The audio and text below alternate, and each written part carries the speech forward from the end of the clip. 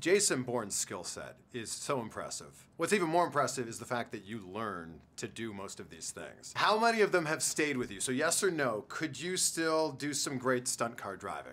Sure. Yeah. Really? Yeah. I mean, I mean, but yeah, I mean, I, they let me do a little bit of it, but the, when it get, when when it gets real, that's a guy named Martin who's doubled me in the last three movies, who is just a baller behind the wheel. What about like the the shooting, the gun work? Yeah, I trained like crazy on the first one, hundreds and hundreds of hours uh, with a SWAT shotgunner who took me out and uh, and and worked with me and was really patient with me and and so we did a lot of firearm training. Could Matt Damon pick a lock like Jason Bourne? No, no, we always fudge that.